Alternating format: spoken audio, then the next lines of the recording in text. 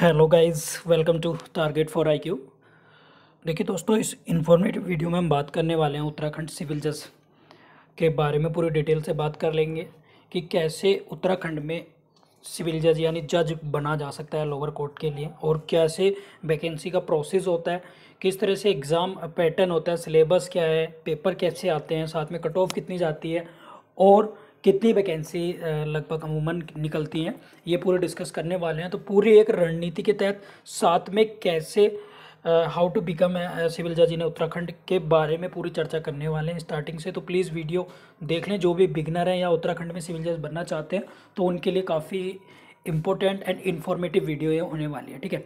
Video start करने से पहले मैं आप लोगों को बता दूँ टारगेट फॉर आई क्यू केवल जुडिशरी एग्ज़ाम के साथ साथ अन्य सभी एग्ज़ाम के लिए जीएस के लिए हम लोग कोशिश करते हैं, साथ में लाख भी हम लोग पढ़ाते हैं, जो इम्फॉर्मेट इन्फॉर्मेटिव के साथ साथ मोस्ट इंपॉर्टेंट टॉपिक्स हम लोग प्रोवाइड करने की पूरी कोशिश करते हैं। तो प्लीज़ वीडियो पसंद आए तो चैनल ज़रूर सब्सक्राइब कर लें और साथ में बेल आइकन ज़रूर प्रेस कर लें, ताकि कोई भी नोटिफिकेशन और अपडेट आप लोगों से बच ना पाए, ठीक है?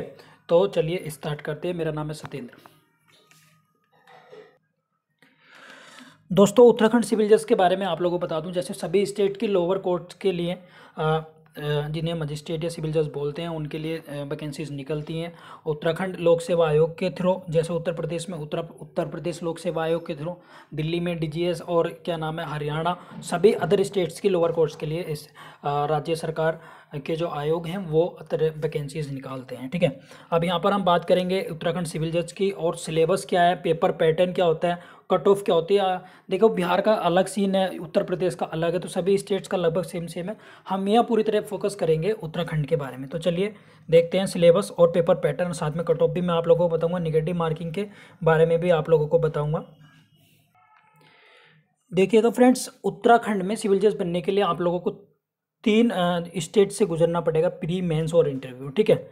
अब नंबर एक तो प्री हो गया नंबर दो मेंस हो गया नंबर तीन इंटरव्यू तो सबसे पहले बात कर लेते हैं प्री की. तो प्रीलियम्स में आप लोगों का एक पेपर होगा और वो जो पेपर होगा वो दो पार्ट्स में होगा. मीन्स पार्ट ए और पार्ट बी ठीक है? जो प्रीलियम्स होगा वो दो पार्ट में होगा और वहाँ दोनों जो पार्ट होंगे वो टोटल दो सौ क्वेश्चन उसमें होंगे और 200 ही मार्क्स के वो क्वेश्चन होंगे। मीन्स अब जो पहला पार्ट होगा वो जीएस का होगा आपका, और वो 50 क्वेश्चन होंगे 50 मार्क्स के। जो दूसरा पार्ट होगा उसमें 150 क्वेश्चंस होंगे 150 मार्क्स के। यानी each question will be one marks ठीक है? ये इसमें यहाँ पर है। और साथ में निगेटिव मार्किंग भी यहाँ पर होगी बिकॉज़ ये प्रीलियम से तो एम फॉर्मेट में आएगा। मीन्स बहुविकल्पीय प्रश्न यहाँ पर होंगे, जैसे प्रिलिमिनरी में होते हैं। और निगेटिव मार्किंग यहाँ उत्तराखंड में वन फोर की होती है। ठीक है? तो ये चीज़ आप लोग याद रखेंगे। अब पे पार्ट फ़र्स्ट की बात कर लेते हैं तो इसमें सीधा सीधा मैं आप लोग को बता दूँ, जैसे इन्होंने मेंशन कर रखा है कि जनरल नॉलेज का होगा। इसमें क्या होगा? एक तो आपको जनरल हैपनिंग यानी करंट अफेयर वर्ल्ड और पर्टिकुलरली लीगल स्पेयर से आएँगी, ठीक है? करंट अफेयर इसके साथ साथ इंटरनेशनल लॉ ठीक है? इंटरनेशनल लॉ स्टेटिकली साथ में लीगली जैसे यूएनओ चार्टर आपको पूरा पढ़ना है। यूएनओ चार्टर पूरा अच्छे से पढ़ना है। इंटरनेशनल ऑर्गेनाइजेशंस के हेडक्वार्टर कहाँ पर हैं या उसके चीफ वर्तमान में कौन है, कितने मेंबर हैं, कितनी लैंग्वेज है। यानी यूएनओ को तो आपको ढंग से पढ़ना ही पढ़ना है। इसके साथ साथ यूएनओ से अटैचमेंट आईएमएफ हो गया वर्ल्ड मैप हो गया यूएनएस यूनेस्को हो गया। ठीक है, ये यूनिसेफ हो गए, ये सब आपको अच्छे तरीके से पढ़ने हैं। इसके साथ साथ आपको इंडियन कॉन्स्टिट्यूशंस भी आपको बहुत अच्छे से पढ़ना है। इंडियन कॉन्स्टिट्यूशंस यहाँ पर आता है, ठीक है? और साथ में आपको लीडिंग क्वेश्चन उस साल के जिस जहाँ पर एग्ज़ाम हो रहा है, उसके वन ईयर के पूरे आपको लीडिंग क्वेश्चंस पते होने चाहिए। साथ में लेटेस्ट अमेंडमेंट भी आप लोगों को पता होने चाहिए इंडियन एविडेंस के, और सॉरी इंडियन इंडियन कॉन्स्टिट्यूशंस के, और जो भी लेटेस्ट लीडिंग केस हैं और अमेंडमेंट हुए हैं वो आपको पता होने चाहिए, ठीक है? तो ये हो गया पार्ट फ़र्स्ट आपका कंप्लीट यहाँ पर कभी कभी एक दो क्वेश्चन उत्तराखंड से बेसिक आ जाता है और विविध में थोड़ा अदर्स में भी क्वेश्चन एक दो बन जाते हैं, ठीक है? साथ में आप लोगों के लिए बेटर है कि पिछले पाँच साल के आप लोग पेपर देख लेंगे तो आप लोगों को पूरी दिक्कत आपकी खत्म हो जाएगी। प्रीवियस फाइव ईयर के पेपर आप यहाँ पर देख सकते हैं। अब बात कर लेते हैं पेपर सेकेंड में कि लॉ के कौन कौन से सब्जेक्ट आते हैं। एक तो टी एक्ट आता है, ठीक है? हिंदू और मुस्लिम लॉ दोनों आते हैं। एविडेंस एक्ट आता है, ठीक है? सी सी आर पी सी आती है, ठीक है? सीपीसी आती है और इंडियन पैनल कोड आता है। ये सारे सब्जेक्ट इसमें आते हैं, जो मैंने बता दिए। हिंदू, मुस्लिम लॉ यानी family law evidence CrPC CPC और आईपीसी और टीपीए ये यहाँ पर उत्तराखंड सिविल जज प्रारंभिक परीक्षा में आता है, जो प्रीलिम्स होता है, ये। फिर उसके बाद इसकी कट ऑफ़ लगती है दो सौ में से। और कट ऑफ़ जो अमूमन लगती है, वो वन सिक्सटी प्लस या फाइव प्लस माइनस टू या थ्री इतनी कट ऑफ़ इनकी जाती है, ठीक है? तो ये कट ऑफ़ मैंने आप लोगों को बता दिया बिकॉज़ उत्तराखंड एक छोटा राज्य है, यहाँ पर वैकेंसीज कब निकलती हैं? इस बार बड़ी मुश्किल से तीस वैकेंसी हुई है, जबकि ऑफिशियल जो पहला नोटिफिकेशन आया था, केवल सत्रह वैकेंसियों के लिए आया था तो अब तीस वैकेंसी हैं इस टाइम तो वैकेंसीज यहाँ पर कम होती है, इसलिए कट ऑफ़ ज़्यादा हाई जाती है उत्तराखंड सिविल जज के लिए। तो कट ऑफ़ मैंने आप लोगों को बता दिया, ठीक है? तो ये प्री का हमारा खंड हो गया। अब देख ले रहे मेंस इसके बाद ये कट ऑफ़ लगने के बाद मेंस के लिए कॉल करेंगे।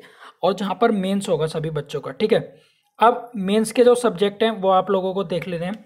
आप लोगों को पेपर होंगे आपके जो कुल मिलाकर पेपर होंगे आपके छः पेपर अब छः पेपर में सबसे पहला जो पेपर होगा आपका, वो होगा करंट अफेयर का। मीन्स इसमें वही सेम होगा, जो सेम प्रीलियम्स के खंड पार्ट ए में था means current affair legal current affair international organisation current affair international current affair ये होगा।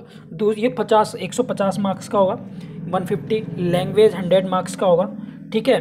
साथ में सब्सटेंटिव लॉ जी टू हंड्रेड का होगा एविडेंस एंड प्रोसीजर दो सौ, और रिवेन्यू और क्रिमिनल का ये आपका होगा दो सौ मार्क्स का। इसके साथ यहाँ पर उत्तराखंड में सबसे अलग होता है ये पेपर अदर स्टेट्स में नहीं होता। Basic knowledge of computer operation practical exam है।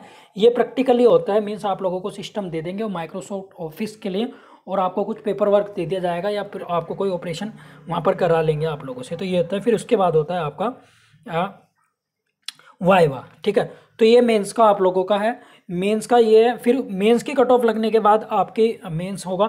मेंस के बाद आपकी फिर कॉल करी जाएगी इंटरव्यू के लिए। तो ये पूरा आपका एक चरण हो गया मेंस का। मेंस के बाद इंटरव्यू और इंटरव्यू के बाद फिर आप लोगों को पता ही है फाइनल सिलेक्शन होता है। तो ये तीन पेपर तो ला के होते हैं उत्तराखंड में। ठीक है? एक साथ में लैंग्वेज का होगा। एक करंट अफेयर जीएस का, यानी जनरल करंट अफेयर का हम बोल सकते हैं जनरल जीके का। साथ में एक कंप्यूटर का पेपर भी होगा। तो ये सारे पेपर यहाँ पर होंगे। जो आप लोगों को मैंने बताए हैं, ठीक है? इसके बाद फाइनल कट ऑफ़ बनेगी और कट ऑफ़ के बाद सिलेक्शन होगा। तो उत्तराखंड में प्रीलियम्स में निगेटिव मार्किंग होती है मेंस में ऐसा कुछ नहीं, क्योंकि डिस्क्रिप्टिव है, सब लिखना होता है। तो ये सारी चीज़ें मेंस में भी वही सब्जेक्ट हैं जो प्रीलियम्स में है, ये भी याद रखेंगे, ठीक है? तो ये सारी चीज़ें मैंने आप लोगों को बता दी। आई होप आपको वीडियो पसंद आई होगी। कम शब्दों में मैंने ज़्यादा बात बताने की पूरी कोशिश करी है।